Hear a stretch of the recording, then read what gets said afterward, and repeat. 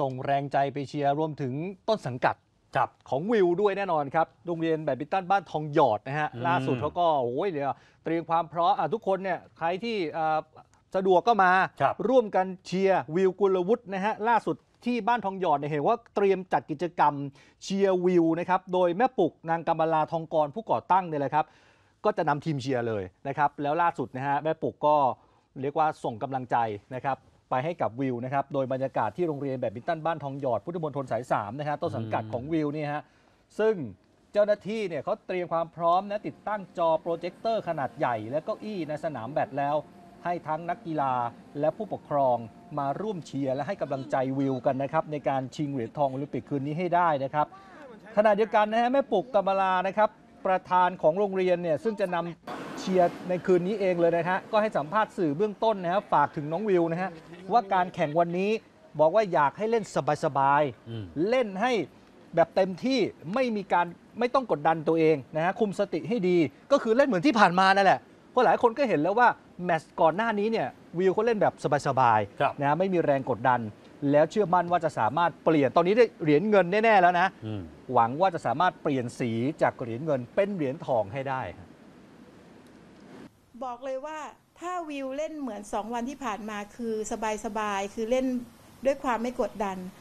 ถ้าวิวเล่นได้แค่นั้นน่ะ เราก็พอใจละ ตรงนั้นเนี่ยมันอาจจะทำให้เราอะถึงตรงฝันได้ แต่ถ้าเกิดว่าระหว่างเล่นเป็นสิ่งที่กลัวที่สุด เกิดความอยากได้มันเข้ามามามามาหาเรากำในในขณะที่กำลังเล่นอยู่เอาละทีนี้ละเราจะคุม คุมแผนการเล่นไม่ได้ คุมสติไม่ได้ อยากให้วิวอะสนุก วันนี้อยากให้วิวแค่คิดว่ากำไรละวันเนี้ยมันจะได้แค่ไหนไม่ได้แค่ไหนอะคือกำไรของวิวละ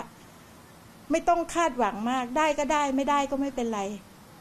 ตรงเนี้ยอยากให้วิวคิดให้ได้แค่นี้เท่านั้น คือแม่ปุกเลยไม่อยากให้ทุกคนพูดว่า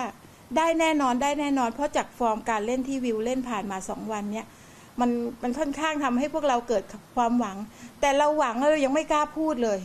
ไม่กล้าพูด เพราะไม่อยากให้วิวได้ยิน ไม่อยากให้วิวรู้ว่าพวกเราหวังแล้ว อะไรแบบเนี้ยเขาจะหวังตามเราไปด้วยไงเขาก็จะคิดตามเราไปด้วย เราไม่อยากให้เขาเป็นอย่างนั้นเป็นไปทีละแต้มอะอือืมมก็ไม่อยากให้กดดันนั่นแหละใช่อ่าอยากให้เล่นสบายๆอย่าไปกดดันตัวเองมากนะทุกอย่างมันก็จะออกมาดีเองนี่แหละครับ ซึ่งแม่ปุกก็บอกว่ามาจนถึงวันนี้เนี่ยภูมิใจมาก เพราะว่าเป็นเป้าหมายของโรงเรียนมาตั้งแต่แรกเลยนะครับเป็นทั้งความฝันเป็นทั้งความหวัง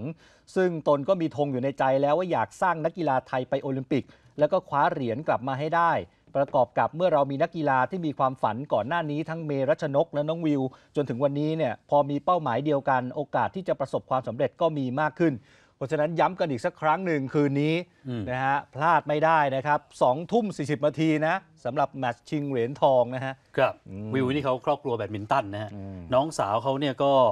น้องส้มนะก็เป็นนักกีฬาแบดมินตันเพิ่งจะคว้าแชมป์หญิงเดี่ยวรุ่น 19 ปีมา ไปอ่านประวัติเนี่ยผมโอ้โหเขาเริ่มเล่นเจ็ดขวบ เริ่มเล่นเพราะอะไรรู้ไหมฮะ พ่อเนี่ยเป็นครูสอนแบดแล้วตัวเขาก็เล่นตาม แต่จริง ๆ จุดหมายหลักที่เล่นคือเล่นเอาสุขภาพฮะ